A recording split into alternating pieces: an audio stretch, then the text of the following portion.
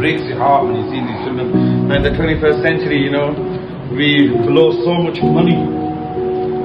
Like we'll go to restaurants and takeaways and spend hundreds of uh, pounds and um, women eat all the food.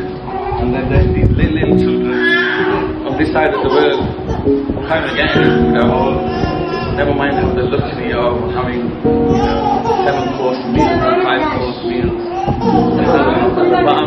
each and every single one of us, we can give something towards these poor children. Are we going to stand before Allah subhanahu wa ta'ala on the day of judgment? What are we going to say?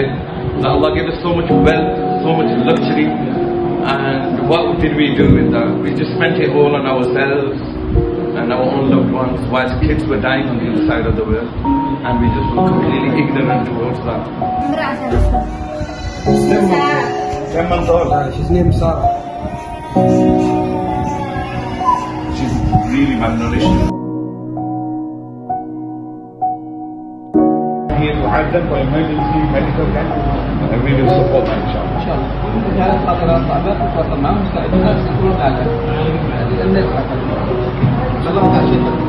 Allah gives us one life, one opportunity in this world to test us.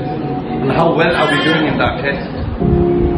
This is what we need to ask ourselves, brothers and sisters. How hard is it to donate? Something towards this. At least on the day of judgment, we can all stand before Allah and say, at least we give something, Ya Allah.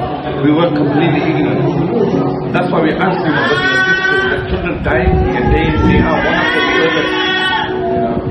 And they need our help. So Alhamdulillah, we've seen uh, three of the cases here. Alhamdulillah, we supported all three families. All, the, uh, two of them uh, with their mothers, one with the grandmother. And now, inshallah ta'ala, the nurses and the staff here, the doctor, uh, inshallah, we're going to look after them too. So they, they find it easy. Some of the cases are probably coming here. Because some people don't have money and doctors is usually, the, they will never let, let the person go. They will still treat the person. Because that's their duty in this world. And that's why we're going to look after them too, inshallah.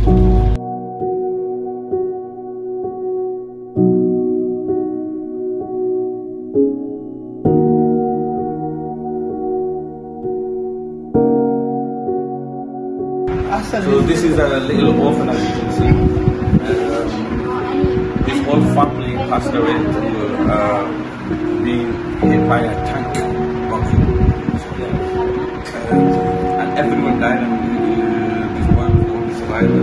Subhanallah. And now this boy is severely malnourished at the moment. And no family, no nothing.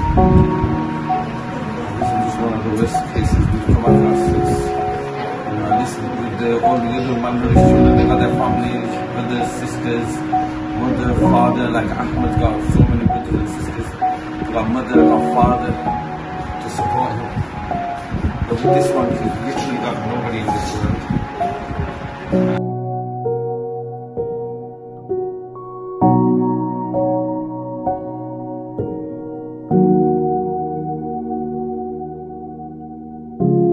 So please, we ask you to open your hearts, donate wherever you can.